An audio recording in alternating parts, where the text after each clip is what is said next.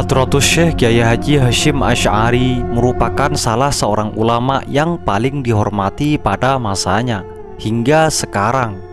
Ia menjadi rujukan berbagai macam problematika kehidupan, mulai persoalan agama hingga politik kebangsaan. Banyak masyarakat dan tokoh yang meminta petunjuk kepada pendiri Nahdlatul Ulama ini agar tidak salah dalam mengambil sikap dan jalan kehidupan. Kehebatan yang dimilikinya ini bukan didapat dengan tiba-tiba. Kiai yang lahir di Tambak Rejo, Jombang, Jawa Timur pada 14 Februari 1871 ini merupakan santri kelana. Ia belajar dari satu pondok ke pondok lain, berguru dari satu kiai ke kiai yang lain, dari Jawa hingga ke Mekah. Di kota suci itu, ia pernah berhaji bersama mertuanya yakni Kiai Haji Yakub dan istrinya Khotijah.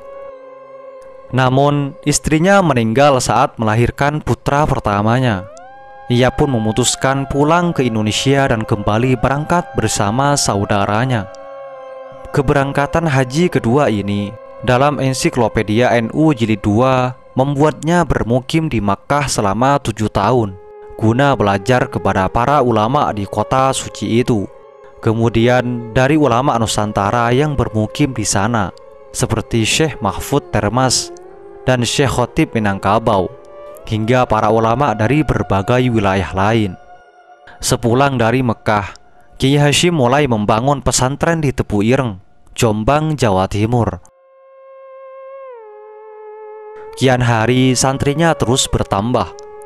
Kealimannya diakui bukan saat ia mendirikan pesantren, Sejak di Mekah, kakek dari Gustur ini sudah dipercaya untuk mengajar di Masjidil Haram.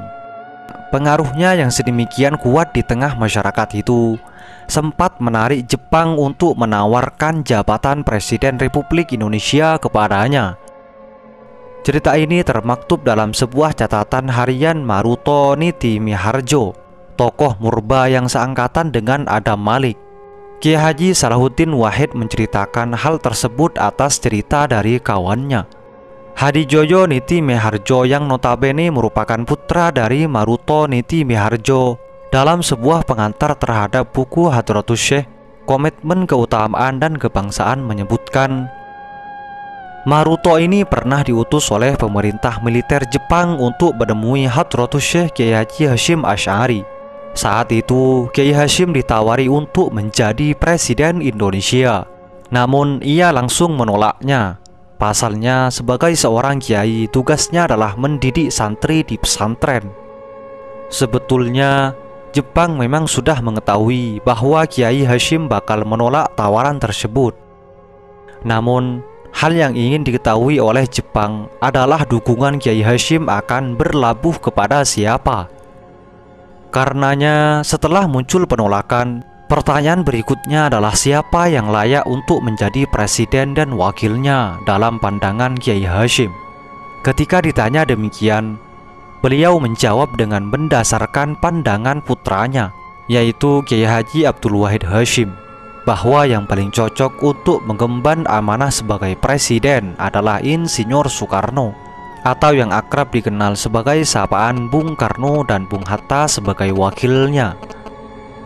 Dalam catatan Fathur Rahman Karyadi, cerita di atas menjadi latar penulisan biografi Kiai Haji Hashim oleh Muhammad As'ad Shihab dengan judul Peletak Batu Pertama Kemerdekaan Republik Indonesia.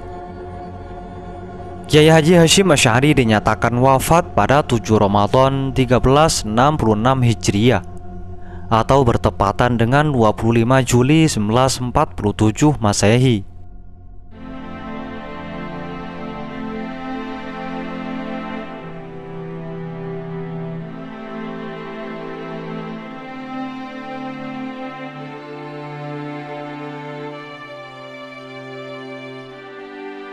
Semoga kita mendapatkan barokahnya. Amin amin ya robbal alamin. Semoga bermanfaat. Assalamualaikum warahmatullahi wabarakatuh